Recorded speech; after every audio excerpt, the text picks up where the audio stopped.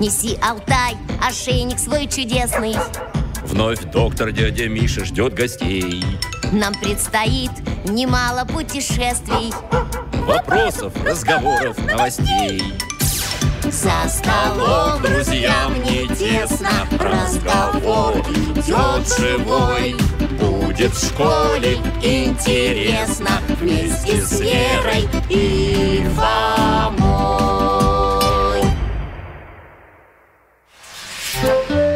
Литературное чтение. Первый печатник Иван Федоров. Здравствуйте, друзья!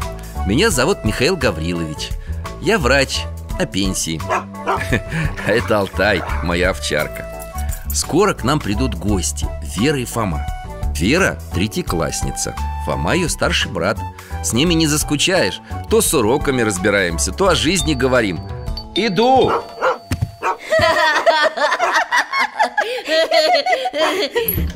Здравствуйте, Михаил Гаврилович. Здорово, дружище. Здравствуйте, дядя Миша.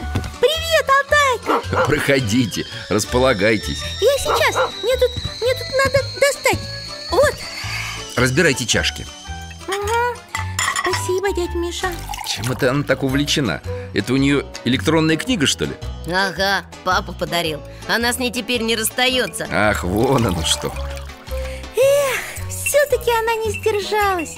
Открыла рот. И полетела в болото. Ну и ну. Хорошо еще, что не разбилась. О чем речь, Вера? Лягушки-путешественницы А, ты говоришь о сказке Всеволода Гаршина? Да. Ну вот, дочитала Фома, давай вечером мультик посмотрим Давай Будете сравнивать книгу и мультфильм? Ага, это Фома мне посоветовал Действительно? Я тоже всегда любил сначала представить героев самостоятельно, а потом уже посмотреть, как их представляет кто-то другой. Когда читаешь, то в воображении будто возникает собственное кино Ага, Согласен. А с таким инструментом, как у Веры, вся литература под рукой. Успевай читать только что? Прям вся-вся литература? Ну, скажем так, значительная ее часть. Что касается произведений школьной программы Их можно найти в интернете вообще без труда Да, и это, безусловно, новый этап в развитии просвещения. Литература стала доступна, а в моей-то молодости люди книги покупали или в библиотеку за ними ходили. Да, вы сами вон какую библиотеку собрали Занимает целую комнату И стоит, наверное, целое состояние Ну, Фома, скажешь тоже. Откуда состояние у простого хирурга? Хотя ты прав в том, что издать книгу – большой труд Ага, и станки нужны, и бумага, и краска типографская Дядя Миша, а можно посмотреть, как печатают книги? Ты хочешь отправиться в типографию? И я хочу Алтай? Он готов Мы, тоже! Гляди, вот печатный станок. Какой здесь запах! Так пахнет типографская краска. Вон рабочий заливает ее в станок Прямо из ведерка. Станок печатает на огромных листах. Таких листов здесь целые стопки. Одну стопку рабочий погрузил на тележку и повез. Идемте за ним кладет листы на другой станок. А здесь их режут. О, получаются страницы. Страницы складывают такими тетрадками. Тетрадки передают вон той тете. Она проверяет, все ли на месте и нет ли лишних листов. Потом тетрадки складывают стопочками Одна к другой. Это и будут книги. Верно. Глядите, их опять куда-то повезли. Идем следом Этот станок сшивает тетрадки вместе. В книжные блоки. Он похож на швейную машинку. А, точно. О, книга почти готова. Теперь посмотри туда. Вот это да! Станок соединяет книжные блоки с обложками. Красота! Готовую продукцию упаковывают и складывают на стеллажи. Ничего себе! Стеллажи до потолка! Все полки заставлены новыми книгами Тираж в тысячу экземпляров современное издательство изготовит в считанные дни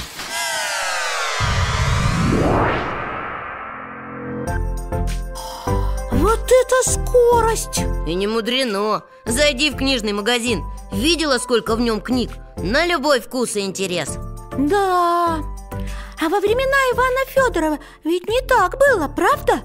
Тогда, наверное, одну книгу долго печатали. А, ты помнишь нашу беседу про Ивана Федорова? Конечно, такое не забудешь. А еще вчера на уроке мы говорили о первых книгопечатниках. Иван Федоров им и был И жил в шестнадцатом веке. Да, в те времена каждую буковку сначала вырезали из дерева А потом набирали из этих буковок текст на доске. А потом печатали? Погоди, сначала штампы надо было тщательно прижать и закрепить Чтобы отпечатки не размазывались. Потом покрыть их краской И только потом отпечатать. И так с каждой страницей. Кропотливая работа. Да, на печать тысячи экземпляров требовался год Потому и не было тогда таких книжных магазинов, как у нас. Ты прав, Фома. Во времена Ивана Федорова книги были редки и дороги. Их печатали для богослужений и распространяли по церквям и монастырям. В школе нам сказали, что первая книга вышла в 1564 году И называлась она «Апостол» Верно А почему такое название? Там что, про апостолов было написано? Именно так В этой книге были собраны рассказы о деяниях святых апостолов и их послания Она считается шедевром первопечатного искусства Шедевр? А почему? В ней не было ни одной опечатки И оформлена она была очень искусно. Ни один книгопечатник 16 века не смог этого повторить. Наверное, Иван Федоров очень старался. Верно. И не только он, но и все, кто принимал участие в создании апостола. А кто принимал в этом участие? Тексты готовили к печати митрополит Макарий и сам царь Иван Грозный Это не тот ли самый митрополит Макарий, о котором мы раньше с вами беседовали? Как раз тот самый Вот здорово! А в вопросах оформления книги и в технических деталях Ивану Федорову помогал его соратник Петр Мстиславец А какие у них были вопросы? Давайте посмотрим Алтай, перемести-ка нас в 1563 год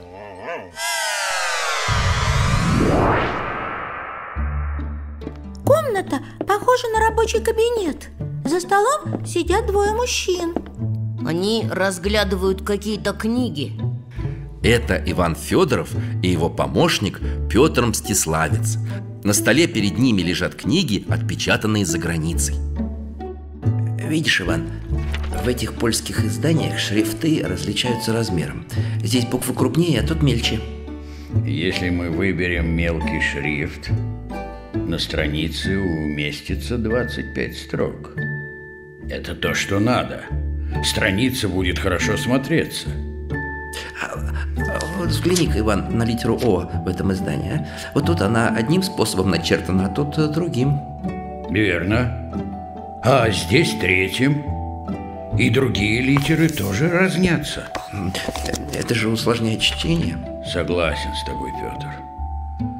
Давай-ка в нашем апостоле сделаем буквы единообразными. А как мы украсим нашу книгу? А что, если нам разместить на отвороте гравюру с изображением евангелиста Луки? Кому, как не Луке, быть на первой странице? Ведь это он описал деяния святых апостолов В начале каждой главы мы поместим заставки с лиственным орнаментом, как в этой Библии. Взгляни. Да, тонкая работа А давай мы прорисуем узоры еще тщательнее Почему нет? Пусть глаз радуется. А как ты думаешь, Иван, а не захотят ли читатели узнать историю создания нашего апостола? Верная мысль, Петр. Давай разместим в конце послесловие. А вот именно, поведаем о том, что богослужебные книги были потребны для церквей на новых русских землях И посему царь Иван Грозный издал указ создать типографию, а митрополит Макарий благословил нас с тобою на это великое дело.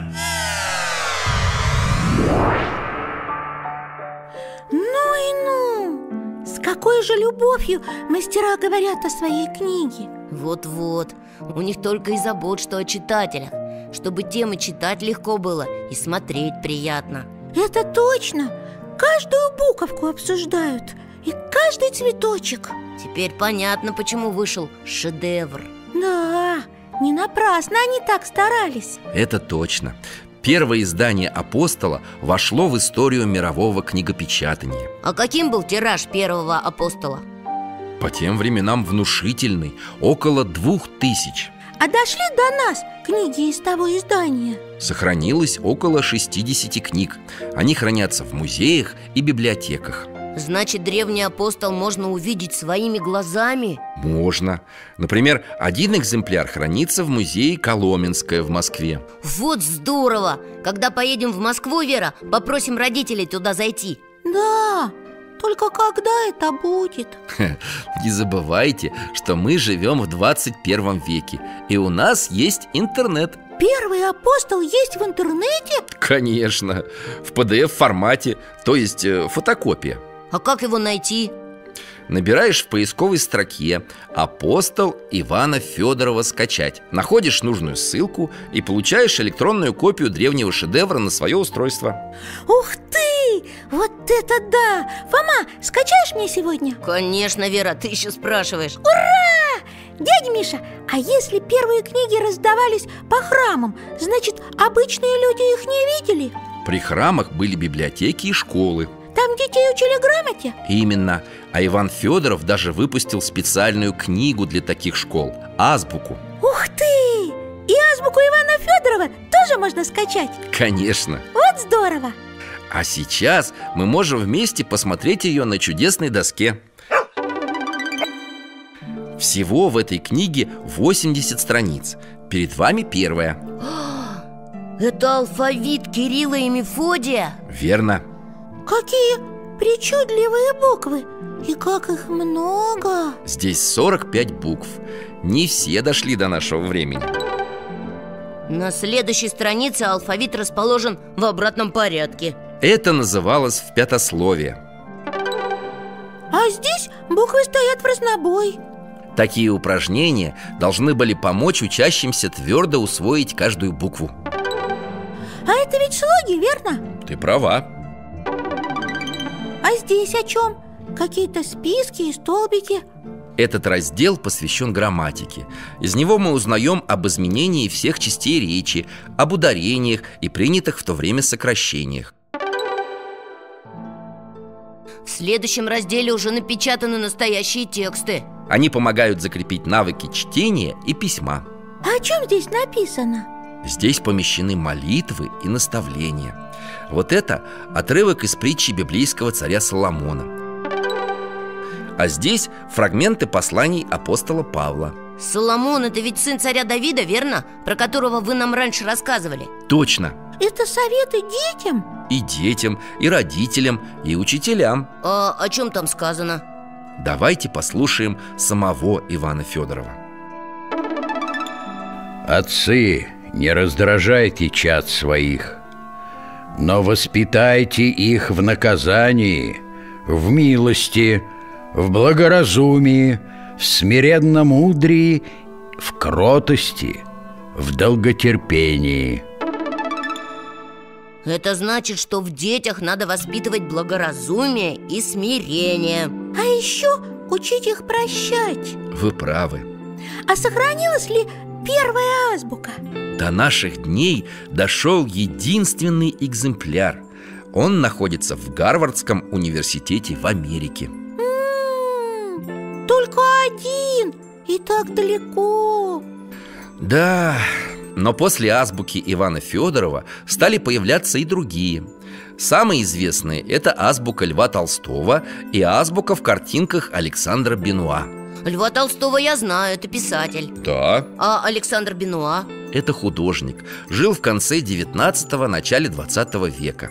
К тому времени книги уже вовсю печатали, ведь так? Ты прав.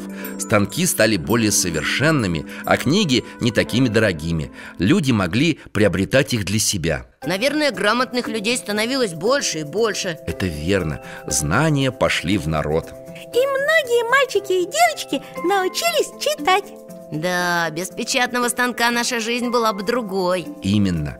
Изобретение книгопечатания входит в десятку главных достижений человечества. Появление печатных книг так же значимо, как и появление интернета.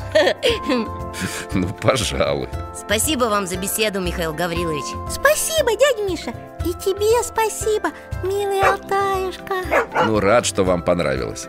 Тема и правда была важная и интересная Вера, не забудь свою книгу. Ой, спасибо. Она здесь, на диване. До свидания, Михаил Гаврилович. Пока, Алтай. До свидания. Всего вам доброго. Неси, Алтай, ошейник свой чудесный. Вновь доктор дядя Миша ждет гостей. Нам предстоит немало путешествий. Вопросов, разговоров, новостей За столом. Друзьям не тесно. Разговор идет живой. Будет в школе интересно. Вместе с Верой и Варей